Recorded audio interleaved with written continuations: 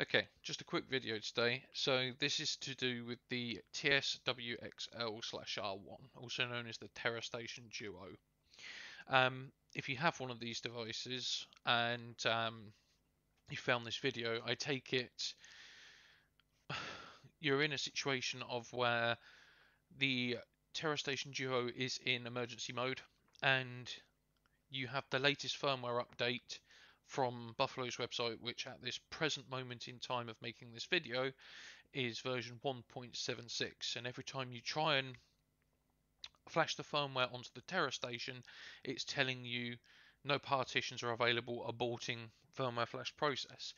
And you've probably already done some research on the internet and seen that you need to edit the INI file uh, within the firmware flash to change it from a 1 to a 0 where it says no format and you've found that it still isn't working because this is what I have found today.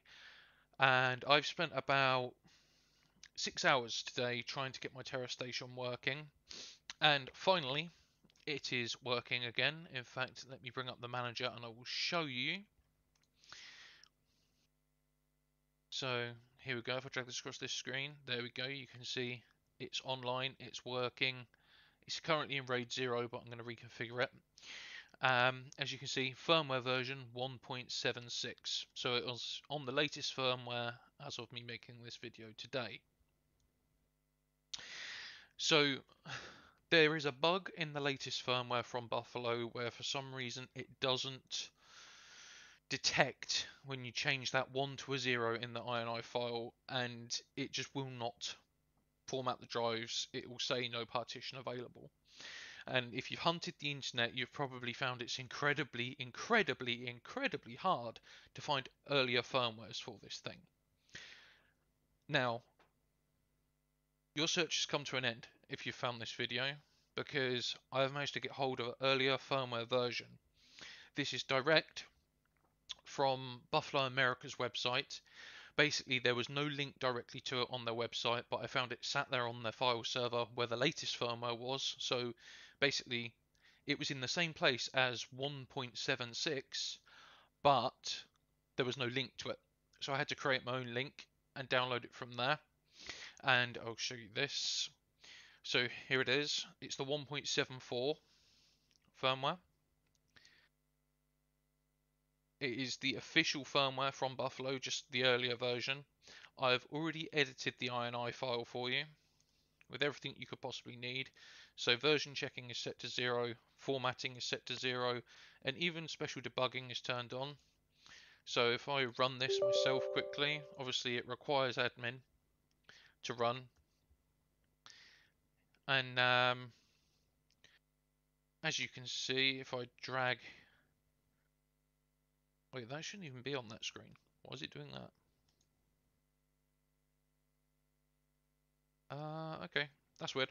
Whatever. Um, so as you can see, this opens up version 1.74. As you can see, I've already updated to 1.76. Um, debugging is active, so you can go into debug mode and it will come up here, and you can force the update, delete, use, rebuild partition tables, everything like that this version works. So you will be able to flash this to your TeraStation Duo or TSW XLR1. Um, it will flash the firmware on, it will reformat the drives, it will put the correct partitions on there for you, which will get the TeraStation working. At which point you can then download the latest firmware, which at the point of making this video is 1.76, and flash that on and then you'll have the latest firmware on there. Um, hopefully, this video and the link I'm going to provide to this file, in fact, just to show you there's no trickery going on right now, as you can see, that's the file. All that's in there is everything that normally comes with a firmware update from Buffalo. I'm just going to right click, I'm going to make the RAR in this video for you. So add to archive,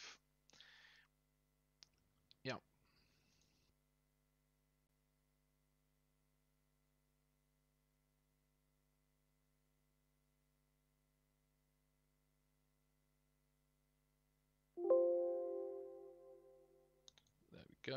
That has been made. It's put it on my other desktop because I'm doing this video on my second screen because my main desktop is very cluttered. And there you go. Here is the RAR file, which I've just made for you. I'll put this on a Mega so you can download it.